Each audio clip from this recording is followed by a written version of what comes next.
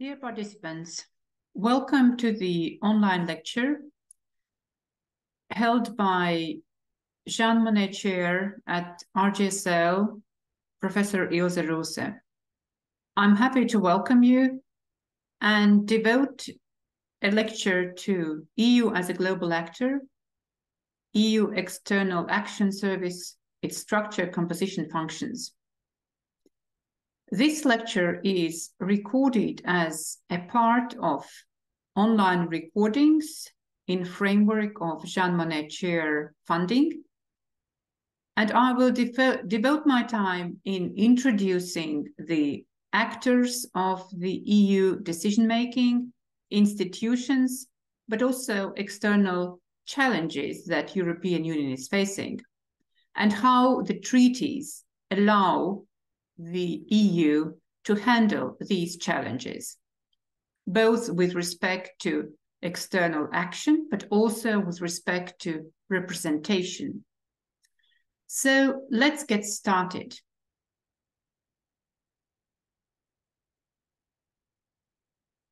Well, in 2020s, the EU is facing a lot of external challenges. If we would like to group them or to name them, we would end by explaining currently ongoing Russia's aggression in Ukraine. Also, as we speak, we are having increasing conflicts and uncertainties in the Middle East. The previous crisis, but also crisis in Africa, external conflicts, internal turbulences are the causes of migration. So migration can also be considered as part of challenges that EU is facing externally. Hybrid threats in country like the Baltic um, states migration has become instrumentalized by state actors. So other hybrid threats can be also disinformation or false information on trying to portray country as a failed state or to act and meddle in countries election processes. So hybrid threats are numerous and difficulty with hybrid threats is that you can hardly tell when the attack begins or possibly it's already ongoing. Among other, EU is facing numerous cyber threats and cyber attacks, both on institutions on countries, on infrastructure, also on international organizations. Cyber threats are most dangerous when they are generated by state actors. With regard to uncertainties and war going on, a consequence is that once EU starts applying also restrictive measures, so the um, response of states that are subjects of these restrictive measures answer also by destabilizing energy supply, but also states that put restrictive measures partly also refrain from using energy sources from countries in question. So currently EU has put a row of restrictive measures on Russia and the result has been that uh, the cut of energy supply from Russia has become a political commitment.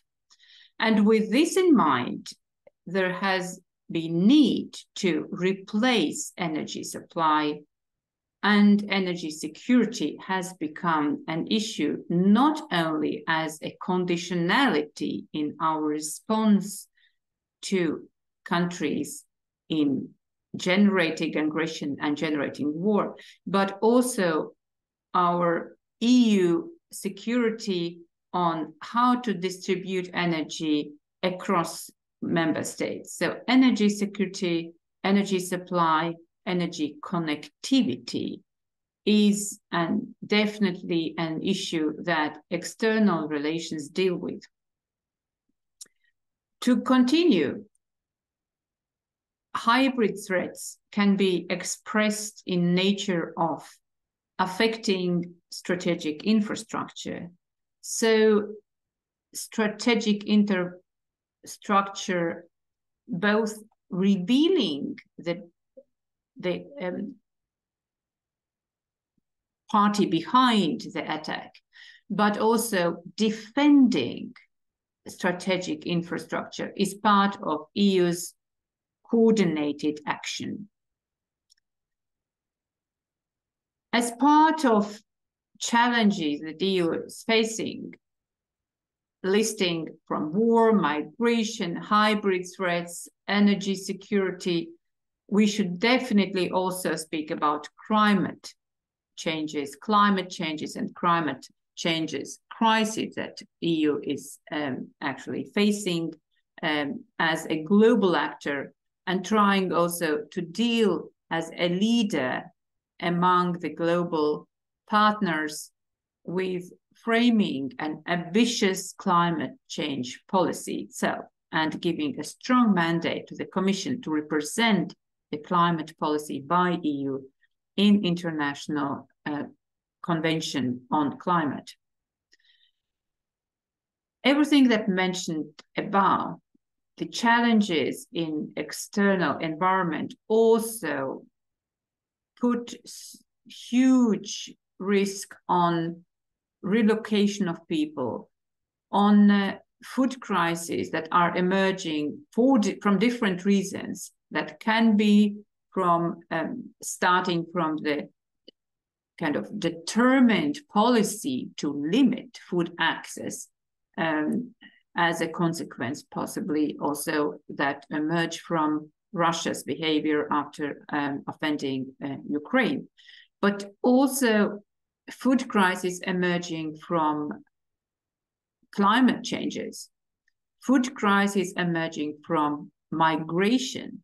And here it goes hand in hand that food crisis and poverty is also uh, one of the root causes for migration. So everything mentioned here is interlinked and where these threats become quite horizontal in also way how to address them.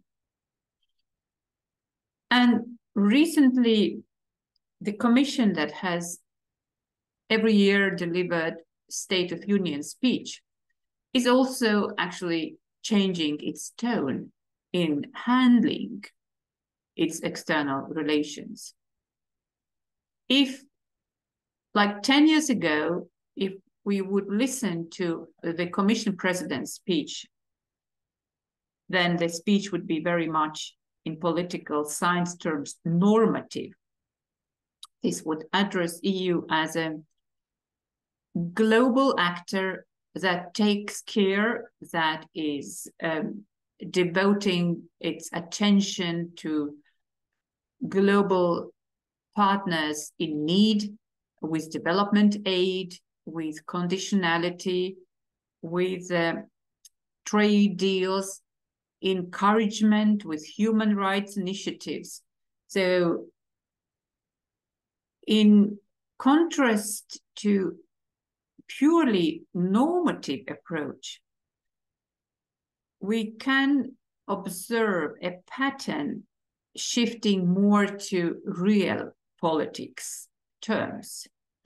So we have a commission, the commission, institution, and also member states acting more in real politics manner, both member states in protecting their national interests, so putting na national interests in first hand, but also the European Commission putting a different approach in how to handle also conditionality uh, with regard to creating stability, peace, uh, and restrictive measures or sanctions is part of this realpolitik, of this way of shifting to more conditionality based external relations. But during the lecture, we will come back to this. As mentioned, putting national interests in first place also leads to divergences in preferences in the member states' approaches.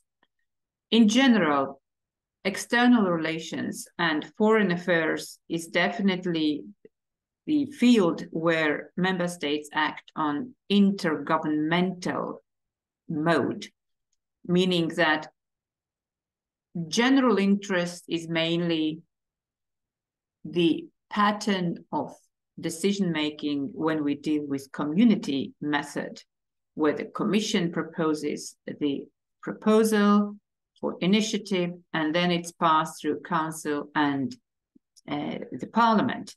Whereas when we deal with external relations of the EU, then the decision making mode turns out to be much more nation state driven. And this also explains that one of the most important challenges or actually key for success of EU to become a strong global actor is to overcome differences among member states. So in two words, European Union unity. Well, we have quite a list of challenges that EU as a global actor has to face. What is the legal basis of EU to do so? It is important to remind that EU can act only within the mandate given by Lisbon Treaty.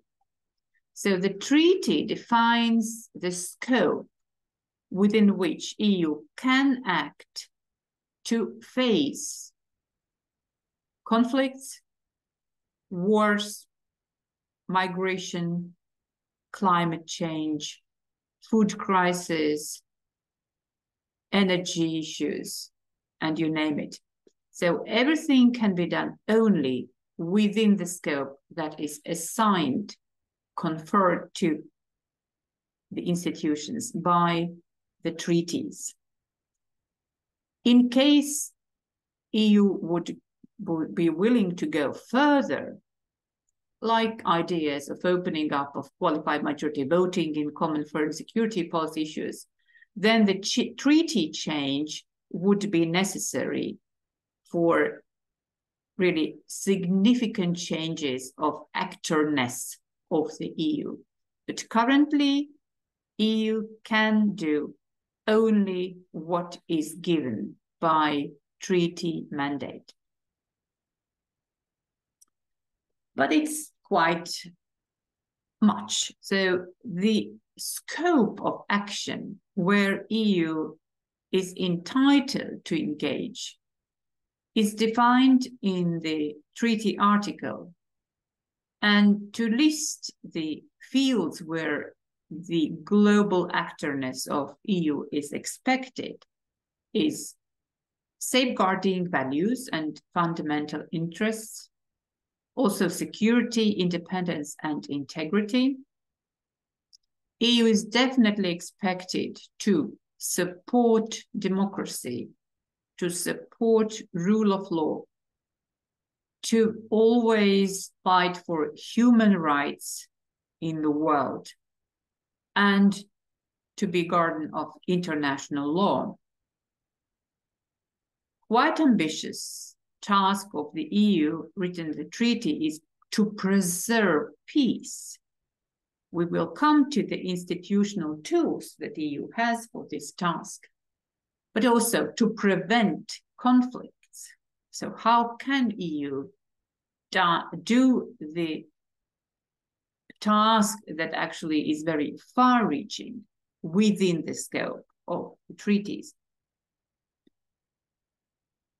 Further, EU is expected to work for integration of countries into world economy, to work for global environment and global sustainable development, including also for climate change, to protect population, but also infrastructure in both man-made disaster, uh, but also nature-made disaster. And finally, how to do this? To do this also through multilateral cooperation, which means that EU becomes part of global actorness, integrating also its role in cooperation with international organizations. So EU has a voice to express and voice to coordinate while acting as a party in multilateral cooperation. For this very interesting field, a separate online lecture is recorded under Jean Monnet project. So let's get now closer and more focused on how the EU can express its global actorness. So what kind of instruments does the EU have in order to formulate its position which is not easy at all. And also to pass the message both to the global actors, but also to international community. Some of examples. The first example, CFSP, Common foreign security policy positions. So common foreign security policy is formulated by the member states in foreign affairs councils and under the chairmanship or leadership of high representative vice president of, of the union who is not in charge of shaping CFSP but rather coordinating with the member states, leading the process, and then also interacting with the Commission in implementing it or with the member states in bringing action further. So CFSP is definitely the platform where such instruments as restrictive measures um, or European Union joint statements or U European Union reactions on topical external relations issues are framed. This includes also defense, but in during the lecture, we will come closer to the also articles that define the scope within which European Union can act when we speak about defense. So as a rule, European Union does not overlap with NATO, but has its very concrete scope of action under the treaties. Justice and Home Affairs, JHA. Under these actions, the EU is definitely more with the also engagement of uh, ministers of uh, justice.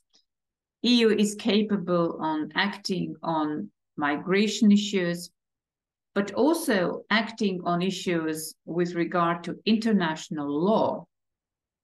Like recently, the issues of, of accountability, how to bring Russia accountable its aggression on Ukraine, was very much also agreed within the framework of JHA, Justice and Home Affairs. External economy policy, tariffs, quotas, it is definitely something that EU has at hand for uh, its conditionality. So um, also reaching out to um, other third countries uh, with economic tools. So economic policy will definitely bring uh, in other council formations apart from foreign ministers only. Trade agreements, association agreements, or partnerships. These instruments are important,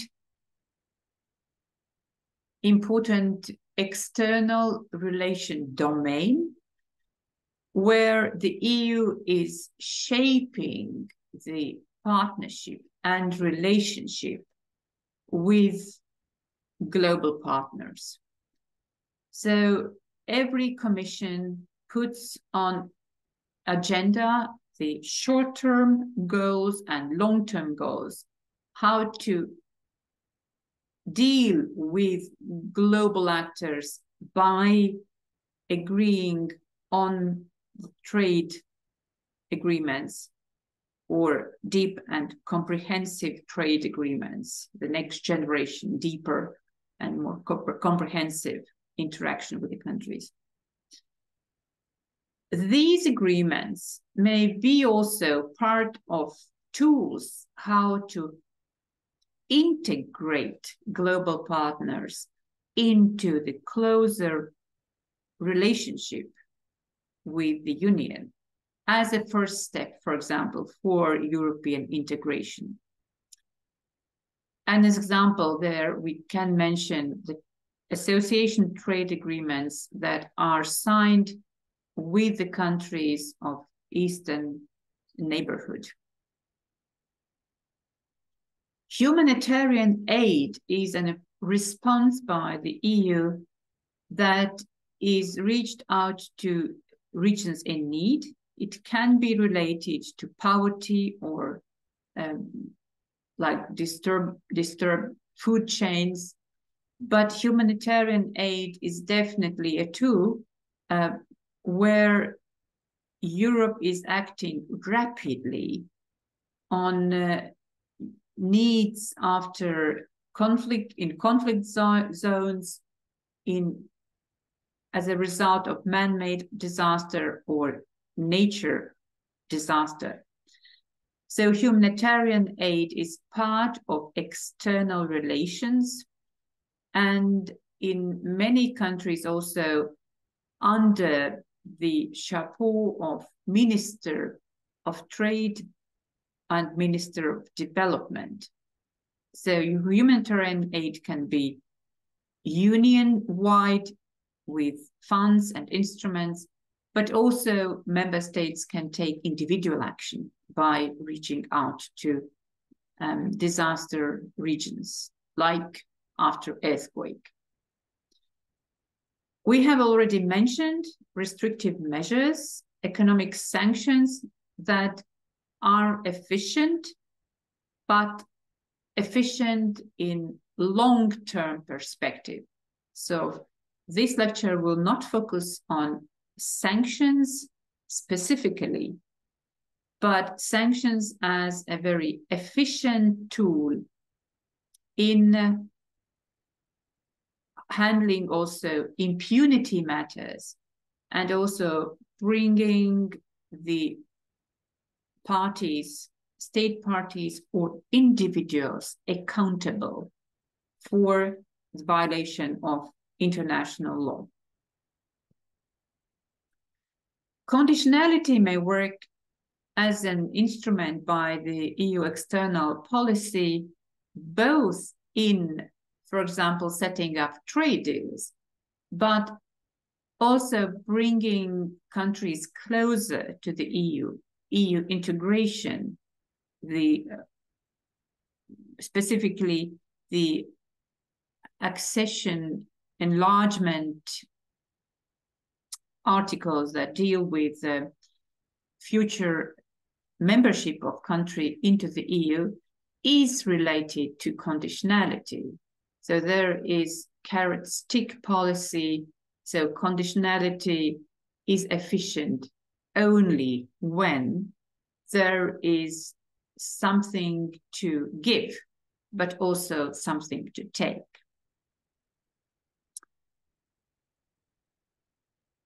To summarize, it seems that external policy by the European Union, for the first, it's very broad, but it also correlates with the diversity of challenges that EU is facing. So in order to be able to handle these challenges, EU's response also needs to be very broad.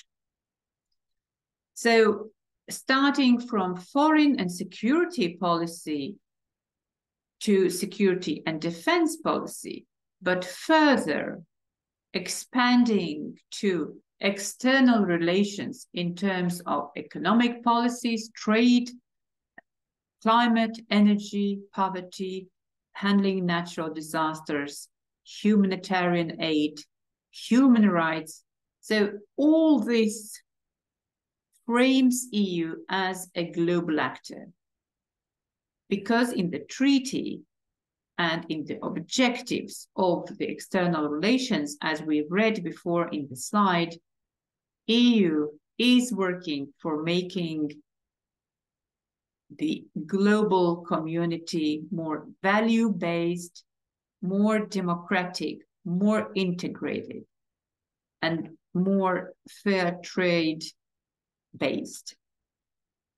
So this means that it is not only about foreign policy, but in fact, it is about EU's external action that is cross-pillar. And by framing it as cross-pillar, we are engaging here with more decision-making bodies and more institutions than foreign policy only. So cross-pillar would mean that external relations are realized through including justice and home affairs, including trade council, including general affairs council that prepares European Council, including Environment Council that deals with env environment and climate, including internal issues and competitiveness of the EU, once it about deep and compre comprehensive agreements with the third countries. So the lecture now will focus more on going deeper into the structure and actors. And we will also speak about external action service that has a prominent role in this cross-pillar implementation of EU's external action. Well, if you are watching this online lecture, then by now your answer should be, yes, I know who is this man. We want to speak here more about High Representative, Vice President of Security Policy of and External Relations of the EU, and about the position, how this is defined also in the treaties. So the person we see here is Josep Borrell, who became elected as High, Representative, High Representative Vice President of the Commission 2019, and his term will end in 2024. So 24, there will be a next round of nomination of high positions of the EU institutions that will also start new legislative cycle for five years onwards. So here for five years, former Spanish foreign minister has been in charge in leading European external action. His position was created as an innovation, institutional innovation by Lisbon Treaty.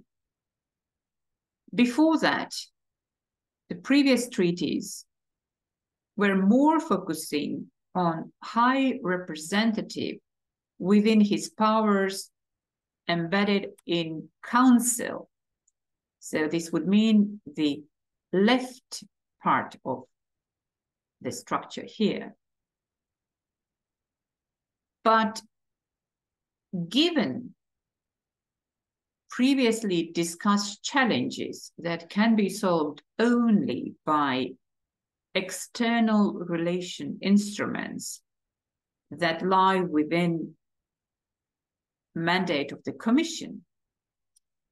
Development policy, humanitarian aid, neighborhood policy, enlargement, trade, climate, environment, you name it. Then the Lisbon Treaty took the step forward and applied double-hatted position to this institutional body, head high representative. So which means that high representative has on one side the engagement with intergovernmental body council where member states 27 member states act together and high representative is leading their work he's not formulating but he is in charge of coordinating leading and even proposing CFSP, CSDP matters, and here very much helped by External Action Service, in acronym EEAS. But on other hand, High Representative is also Vice President of the Commission President. So in this portfolio, he, currently he before she, but we'll see who will be elected next, has responsibility for developing positions together with the commission, but also agreeing and implementing external policies. And here, commission works together with council, with the European Parliament, if this is a legislative act, and then with external action service that implements and uh, this graph also helps to understand both the limitations of high representative once it comes to representation, because when we speak about trade and when we speak about development policy or, or neighborhood policy or setting new partnerships, then to some extent, the high representative is overshadowed by president of the European Commission, because then the president will be seen as a representing figure. We will get there about representation, but the main focus of, of understanding this is also being able to then understand which kind of legal acts are set on each of the um, responsibility side. So, what is the outcome of foreign policy, and what is the outcome of external relations?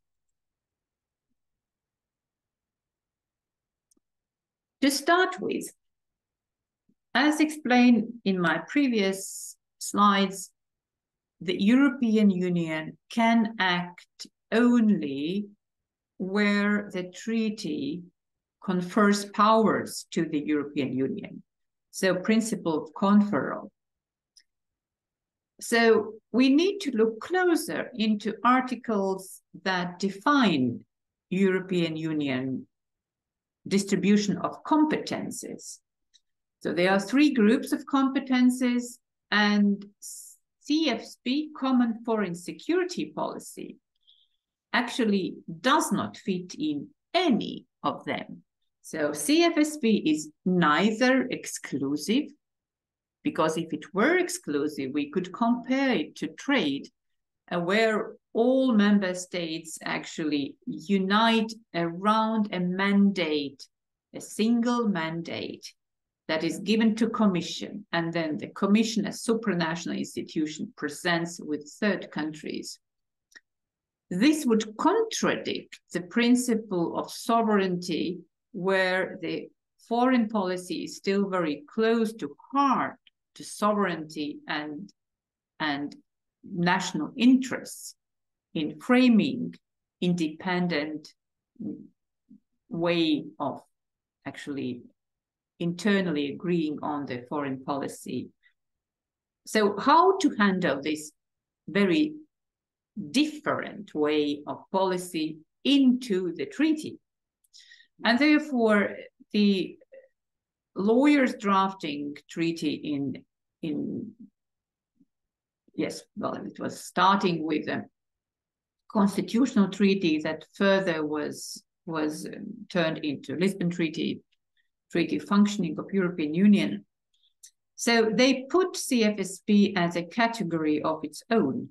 So neither exclusive nor shared nor coordinated, but it is a category sui generis. And when we read the article, it's quite well-known article 42 because the article deals with defense, and uh, this has been also used by an article of guarantees from the other member states in case of crisis. Solidarity article. So when Sweden was considering either to join NATO or to stay neutral and be protected by Article 42, so this very article. And then, uh, of course, the question arises to what extent this article is binding to member states. And let's let's have a closer look to the Article 2.2 part, which is just framing the direction. So the Union, Union's competence in matters of common foreign security policy shall cover all areas of foreign policy and all questions relating to the Union's security. But now, be careful when reading the second part of it, including the progressive framing of a common defense policy that might lead to a common defense. You do not need to be lawyer to understand that this is quite a vague formulation. Well, it mentions foreign policy element, it mentions defense policy element, but given that in the European Union, there are countries that are not NATO countries that possibly would not be willing to the degree necessary also to engaged in to be engaged in common defense policy. So the article offers a very flexible language, meaning progressive framing of defense policy. And about common defense, it just says it might lead to a common defense.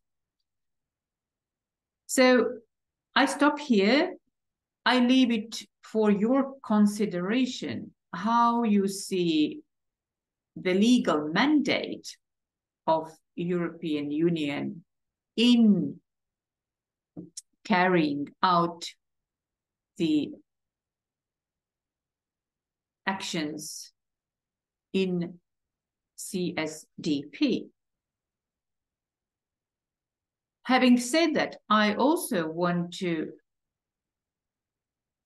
draw your attention that the language of this article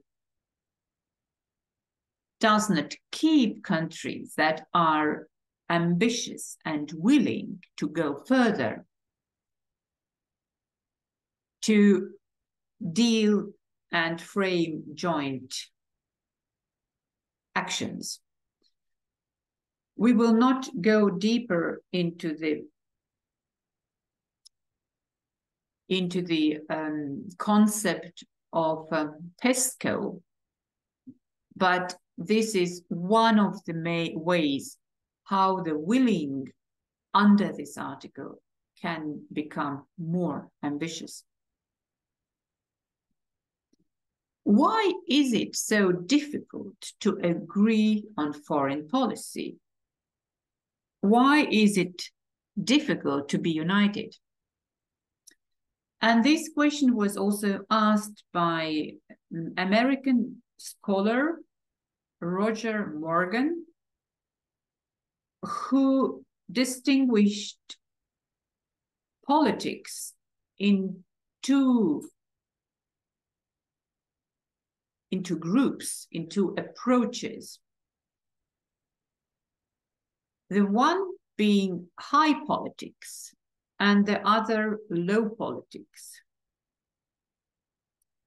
The high politics definitely deal with topics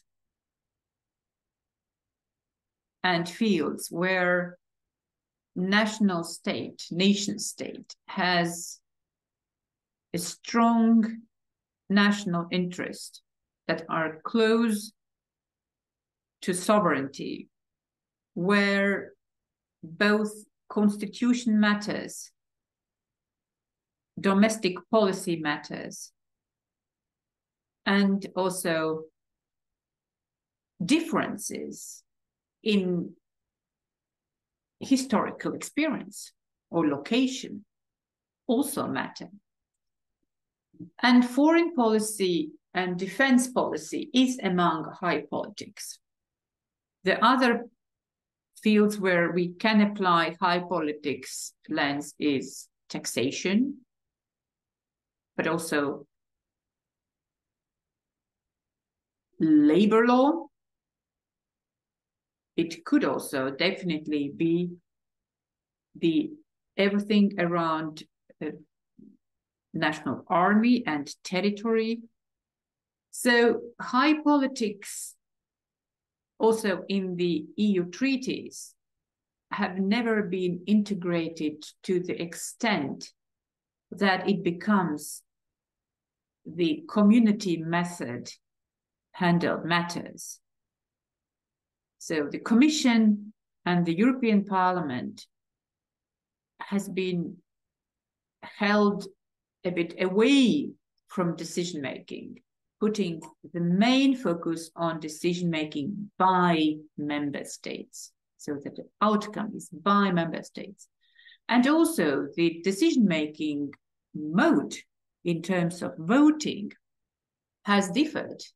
So high politics most likely will be decided by unanimity or consensus based decisions, whereas low politics, like internal market, like digital, um, deepening of digital market, uh, also education or environmental standards. These are policies where laws and legal instruments can be harmonized, but not in high politics. We will speak about the instruments, but when we speak about common foreign security policy and defense policy, mainly these councils would agree on council conclusions that are adopted by unanimity. And then on the basis of these council conclusions, then the legal acts may emerge. But the first political decision will be taken definitely by every member being able to put veto. Or the text is just negotiated until it is acceptable for everyone. Now getting to actors in uh, foreign policy. This seems kind of institutional jungle. But during the lecture and during other online lectures that are available under Jean Monnet project, we have explained the decision making and the uh, mandate and also the structure of each of these institutions. Once we speak about foreign affairs, we are more interested about this red part. As mentioned before, foreign affairs and defense issues are mainly intergovernmental. So we have mainly minister to minister, member state to member state, head of state to head of state process. To balance this, these processes are handled by the permanent chairs. The European Council meeting is led and chaired by the European Council President, the Foreign Affairs Council meeting is led by High Representative, also Vice Chair of the Commission President. But some exceptions mean that ministers of trade would lead trade configuration under foreign affairs, and ministers of development will lead the work under the presidency chapeau for the ministers of development. This all being supported by council secretariat and also by ambassadors from Coreper 2 and in some cases Coreper 1 ambassadors. The work starts with the council groups and we will get there. So here a summary of actors in making decisions in foreign policy and external relations. We will touch upon commission. We will spend more time to European Council and Council, and we will briefly mention Parliament being marginal when we speak about foreign policy, but being politically important. Another slide actually explaining that was already put in the previous here who are making foreign policy in the EU, which are the actors on every institutions level. So on the commission level, we boil down to director general, direct DGs, as called in the European language, DGs. So DG NEAR would engage in European neighborhood policy, uh, DEVCO will be impor important when dealing with development aid and so on.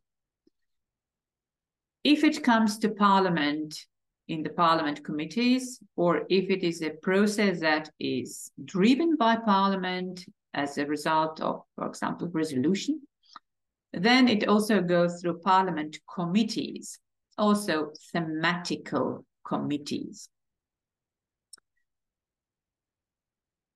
Now about 27 member states. As explained, 27 member states, member states would be the main the main chefs in this foreign affairs policy kitchen. So member state ministers, also ambassadors, so political security, so-called PSC ambassador, and military committees, foreign affairs ministers um, of different council formations. So under configurations under foreign affairs can be also development or defense or trade, but also not to forget General Affairs Council that may develop um, positions as an input for European Council. And the General Affairs Councils are led by presidency and the foreign ministers or EU ministers are sitting from 27 member states. And finally, about European External Action Service.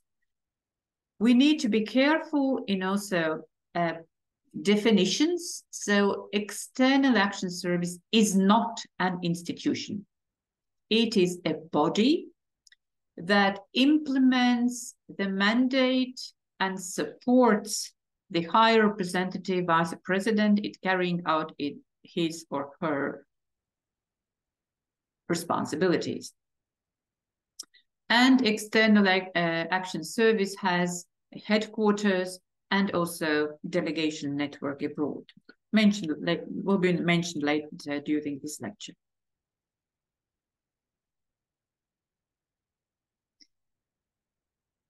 As explained previously, among five types of legislative instruments that are part of uh, Lisbon Treaty Article 289, so regulations, directives, decisions that are all binding, have direct effect or indirect effect, are decided in co-legislative process with the European Parliament, they may be as a secondary instrument in implementing action. But the decision, political decision on agreeing on action is actually done by council conclusion. So council conclusion is a political document. It is a political agreement between the member states that is drafted by council secretariat and agreed by unanimity. So here again, we come back to the graph that puts external relations in a framework that CFSP and CSDP is not only action that EU is doing in reaching out its global activity. There's also external policies.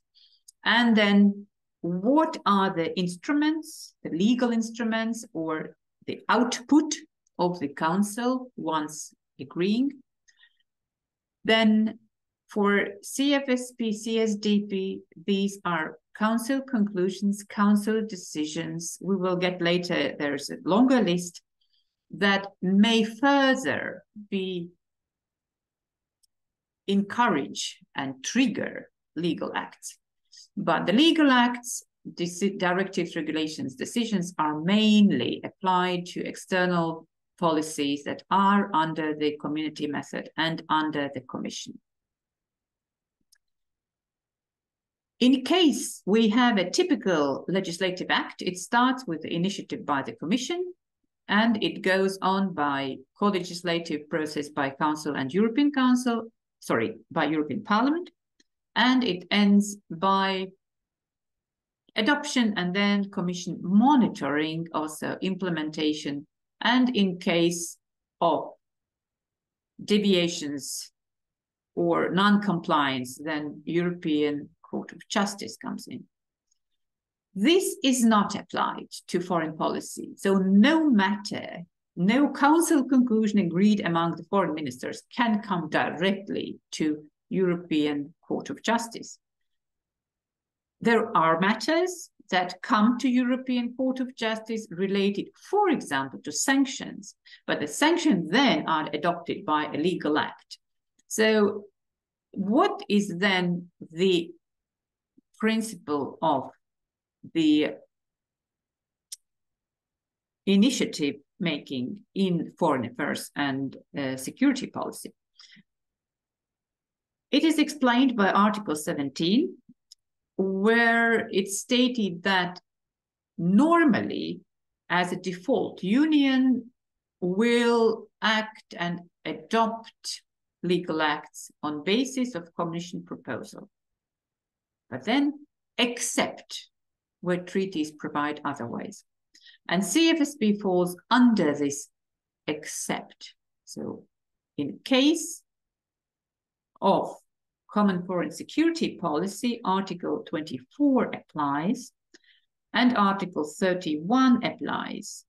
That state that the legislative acts are not originally adopted on an issue to be handled, but mainly the initiative comes from the member state or a pro proposal from high representative or a proposal from high representative supported by the commission.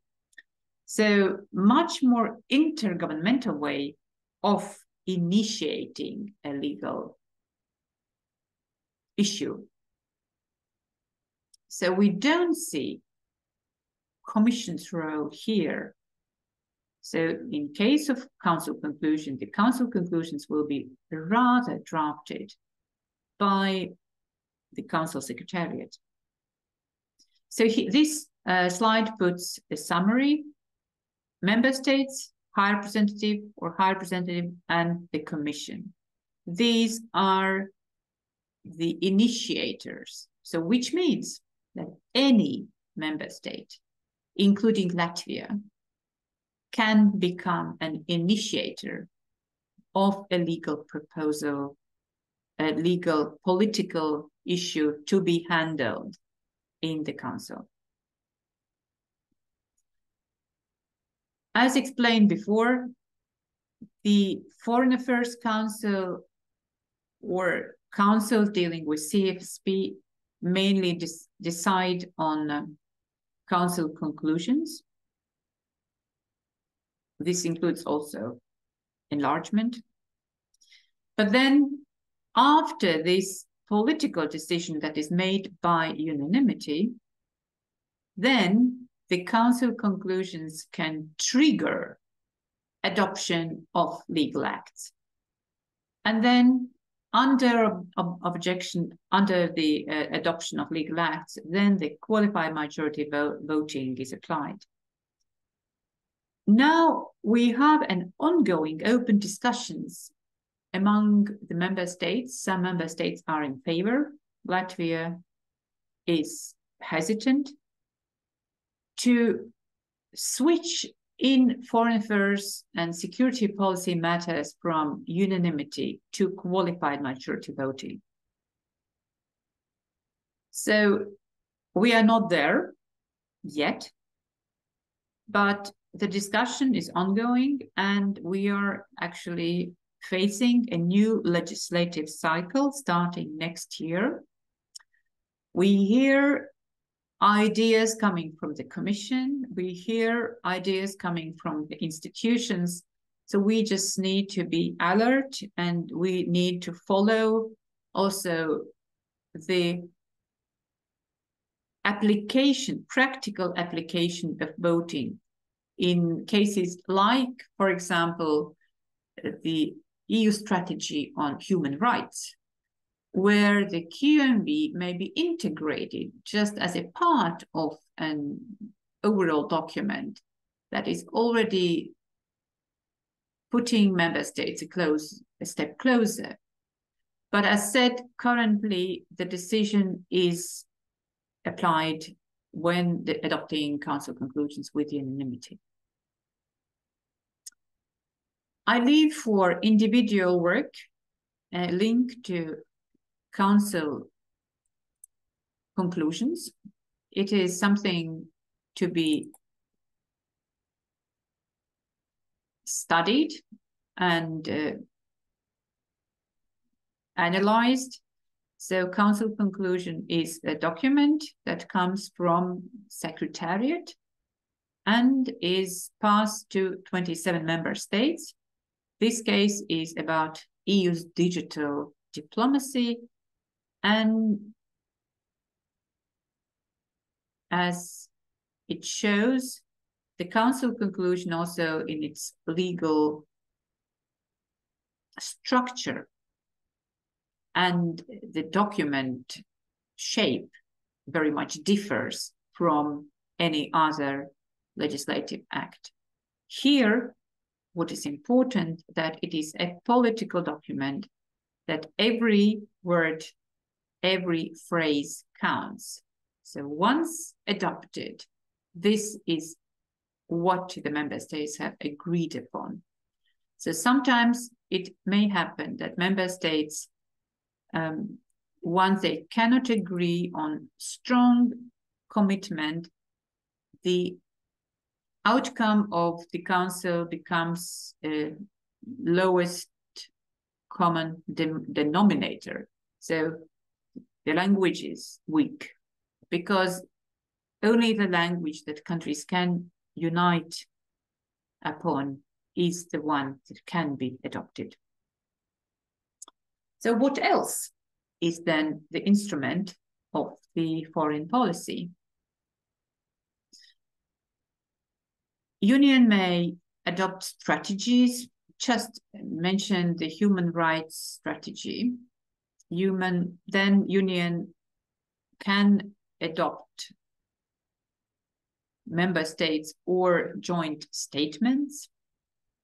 It can be a declaration, it can be opinion, it can be just a position by one, two, more member states, joint position. Sometimes it is a non-paper. A single member state can issue a non-paper and then others may co-sponsor it, just join in.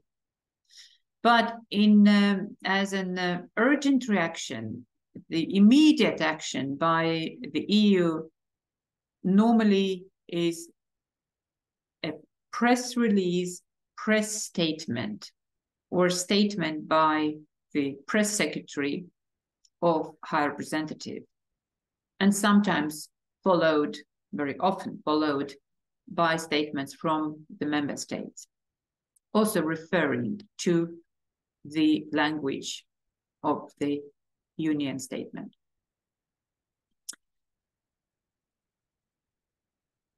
Institutions one by one. We will spend bit time with the commission. This slide is interesting only to extent that it shows that the current commission 2019 to 2024 works in clusters. So there is Team Europe cluster or Team External Europe, and then there is a climate cluster, and then there is social policy, and then there is uh, governance and, and, and so on cluster. But for this course, the cluster where High Representative works together with uh, the President of the Commission works together with High Representative is interesting. So this leads to different other commission portfolios that deal with development policy, with the European neighborhood,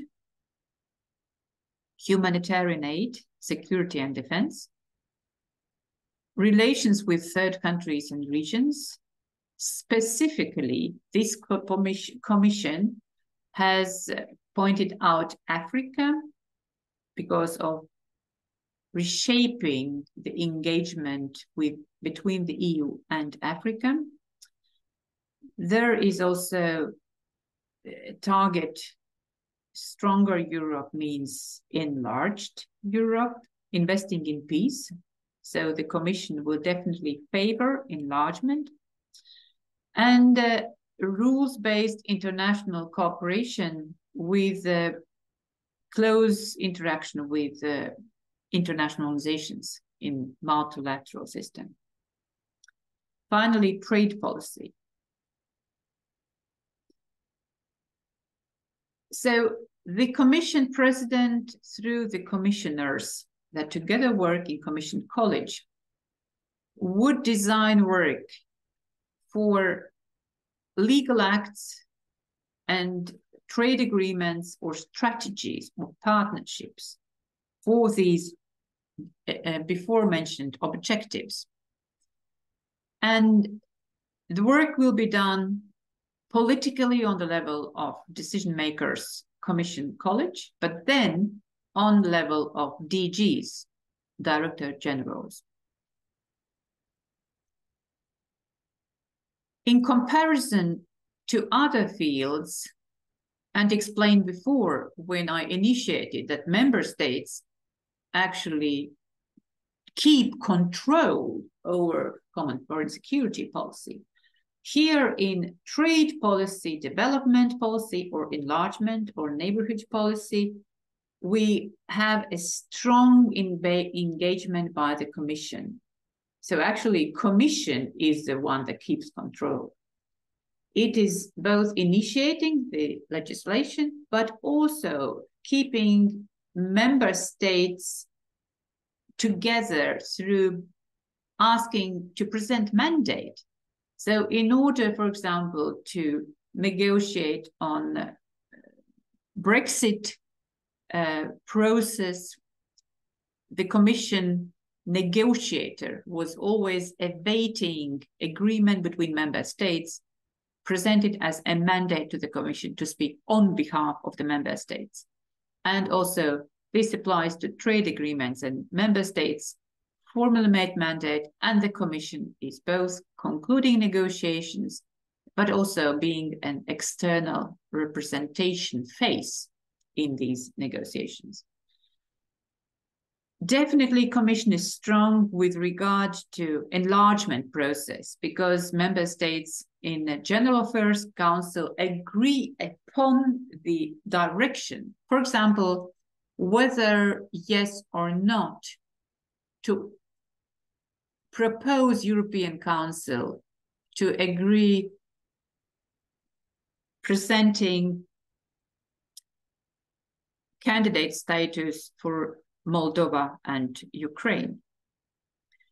But then the Council tasks the Commission to go on with annual reports and report back on the results and progress. So again, the Commission is holding control with interaction with respective third country in this process. So therefore, it may seem that Commission is always more optimistic or more positive. But it's, I think I leave it with you listening to State of Union speeches by the Commission President. So the notion of openness for enlargement has been changing from year to year. And finally, the Commission is holding funding. And this is where the strength of the Commission is in keeping implementation role of implementing the actions and activities, programs, financial instruments through external action service or through any kind of European neighborhood policy instrument or others. As explained, intergovernmental actors are central in external relations. And here we have President of the European Council, High Representative for Foreign Affairs and Security Policy, we have the Council presidency, we have member states, and supported by COREPER ambassadors, working groups, and Council Secretariat. So quite a lot of actors again. The European Council and its role has definitely increased during the years. But it also explains that European Union is much more engaged in handling external crises so almost in every European Council conclusion, there is an agenda item on how Europe is handling another security policy crisis, a broad global conflict, or a disaster. So effective engagement of um, union in conflict resolution has become a mandate of level of heads of state engagement. So the output is different European Council conclusions, but then after them that trigger partnerships or different policy instruments, as mentioned before, or declarations or statements, or just positioning the European Council. Then it is interesting to note that European Council has a representation, also mandate. And uh, in particular, this representation mandate goes through the president of the European Council. So president is the one um, that is leading the work of the European Council, heads of states format, once they agree upon not only crisis and external conflicts, but also kind of regular agenda, multi-annual financial framework, or enlargement, or um, just uh, internal issues of agreeing on internal market, digital market, um, European semester, and so on. The current president of the European Council is sitting until 2024. It's a former prime minister of Belgium, Charles Michel. And he is also having external representation power.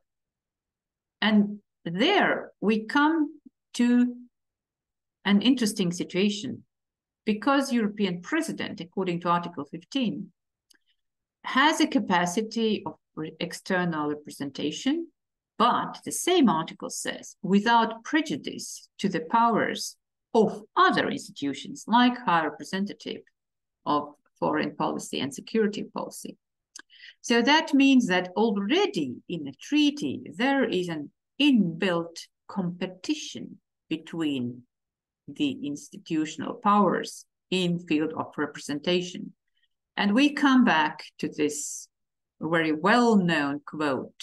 When Kissinger wanted to call Europe, he asked, whom should I call?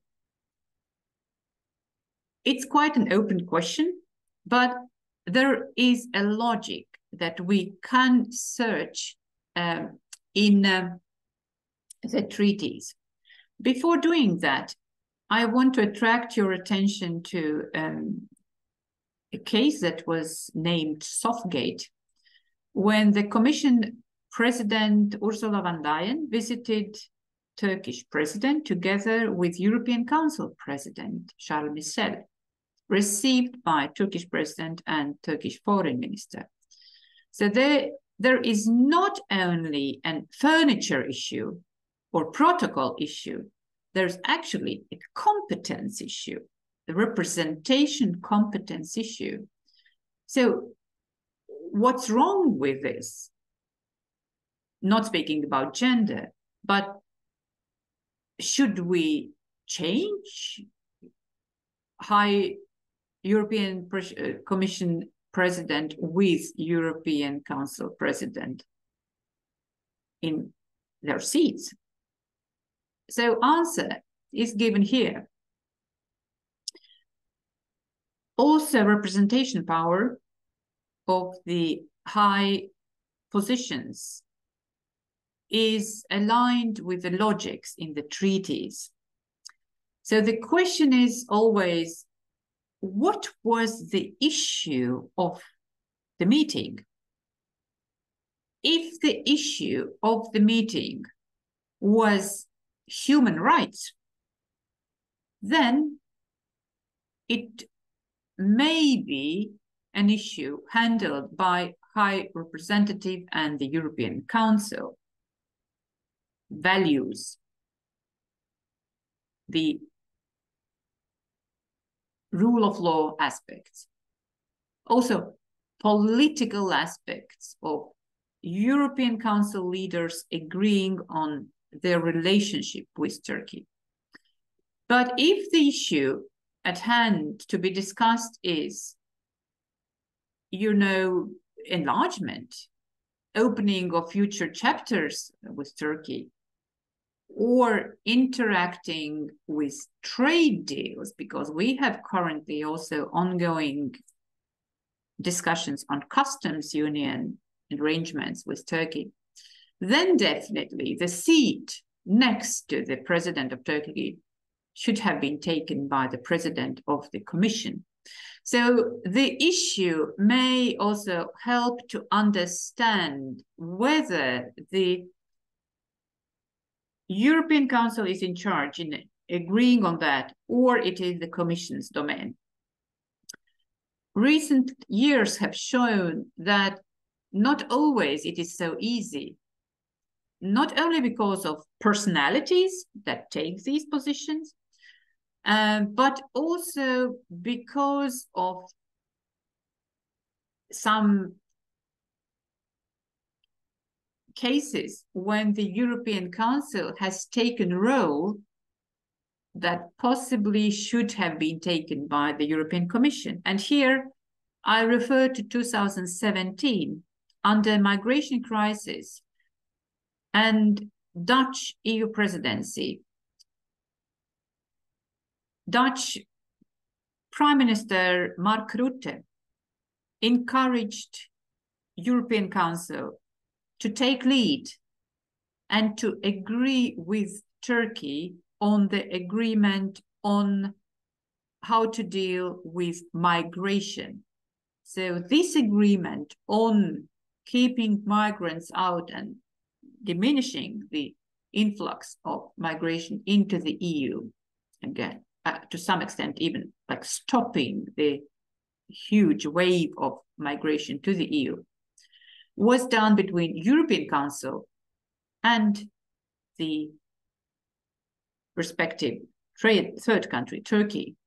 And this became the case law in European Court of Justice because of issue of representation and a mandate.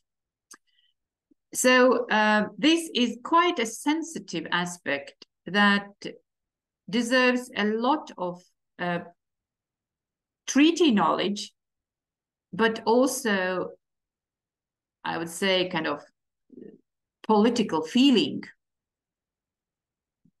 Who is taking the lead? Which of the actors in the institutions?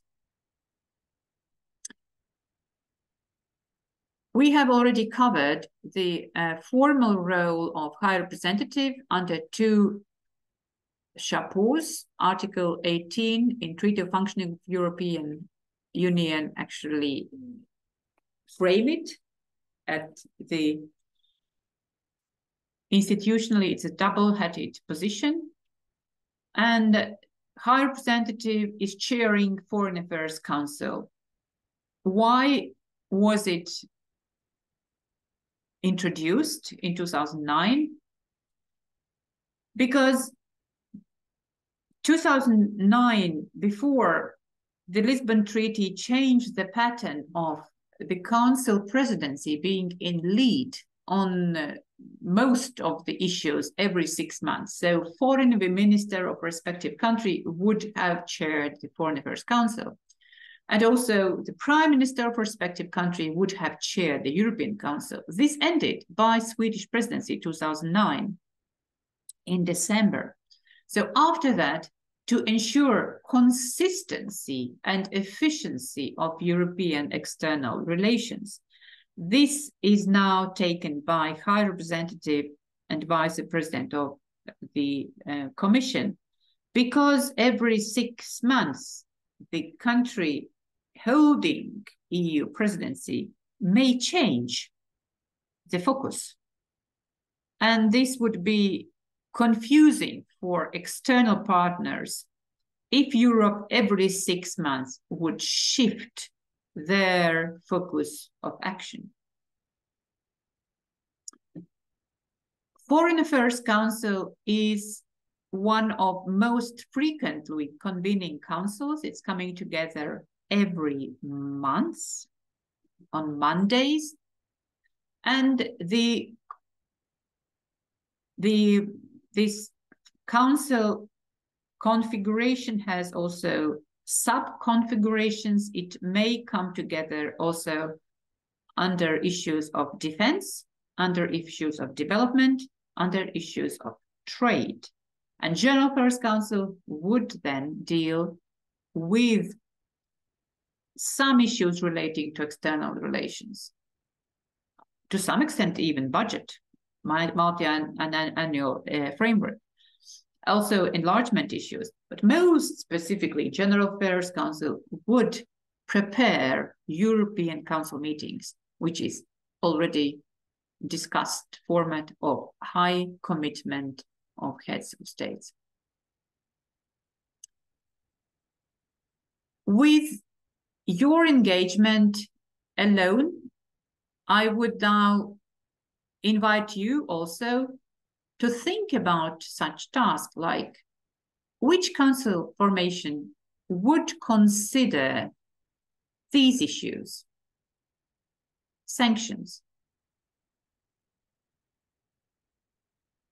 Is it foreign affairs? Is it trade? Is it competitiveness? Or maybe justice and home affairs? So in the several in the same mode, please think about issues like which council will consider investment dispute, which council should pass through and document on humanitarian aid package or defense fund for Ukraine, or enlargement, or military equipment production. Think about it. The Working Council is not done by ministers only. It has to be prepared. Ministers every Monday come together. Given the agenda of the council meeting, they also may discuss issues that are coming from other council formation as B issues, and they just pass them as agreed, just to rubber stamp. But then they would focus on the outstanding agenda items. These items are prepared by ambassadors, normally COREPER 2 ambassadors, but most specifically by working parties. The graph here explains fields and policies under responsibility of each of COREPER ambassadors.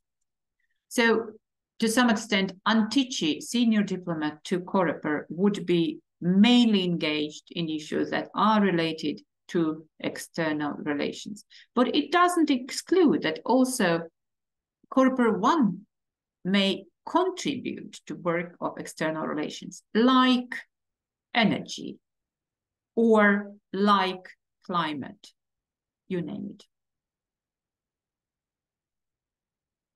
This graph explains the logics of the working groups that deal with foreign affairs and common security defense policy.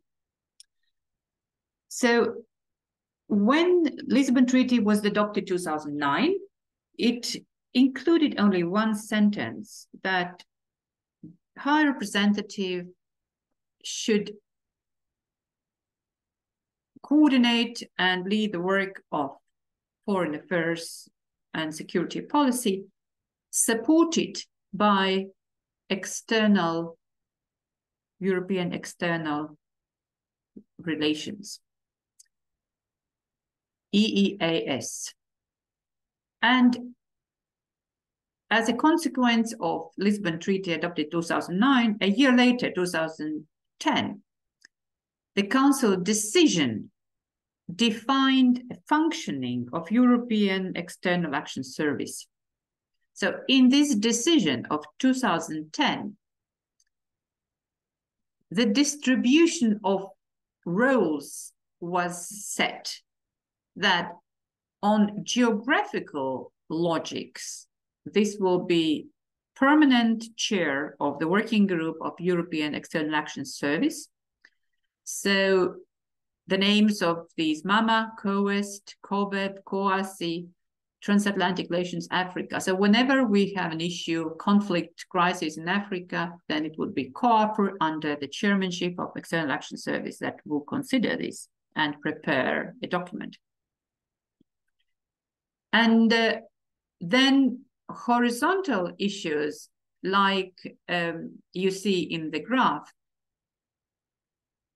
they are dealt with partly external action service, but also partly with the presidency. And this was the decision by um, 2010 uh, that actually divided these roles.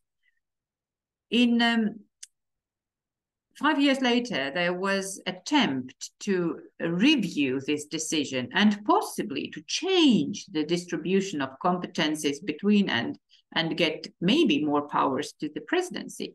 But it did not change. So currently, um, there is always a logic that there are some working groups that are chaired by the permanent uh, external action service uh, civil servants, but then the rest are still under presidency. So this is important to bear in mind when the country is preparing for the EU presidency so that it has to get an experienced and uh, negotiation leading capable experts who will then take the role of chairs in these working groups.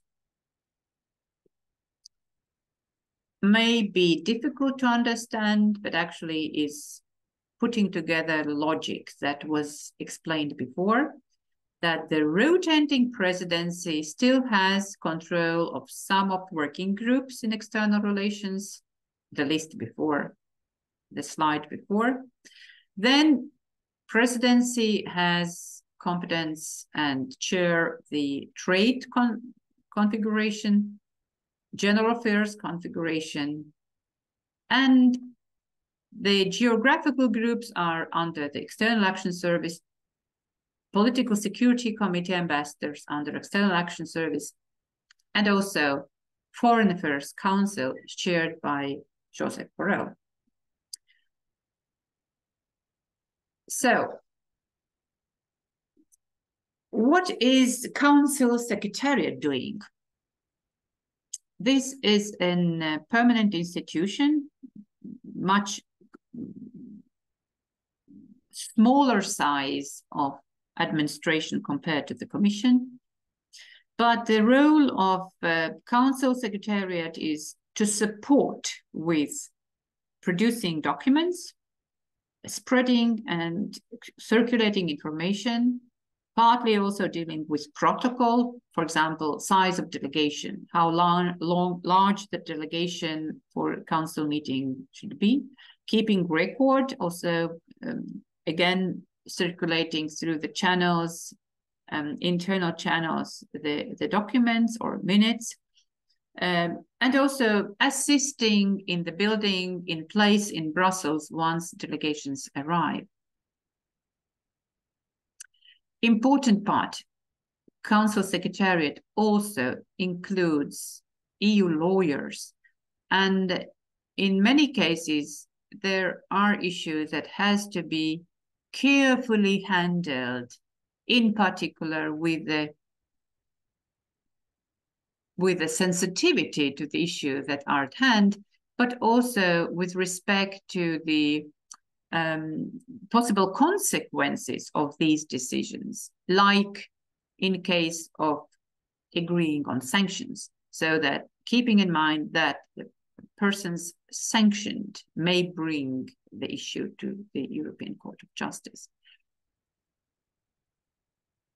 Several steps in preparing the council where groups are involved, working groups, then ambassadors from PSC, COREPER ambassadors, and then council secretariat is circulating agenda, preparing and circulating language in council documents, negotiation documents are delivered in close cooperation with the presidency country.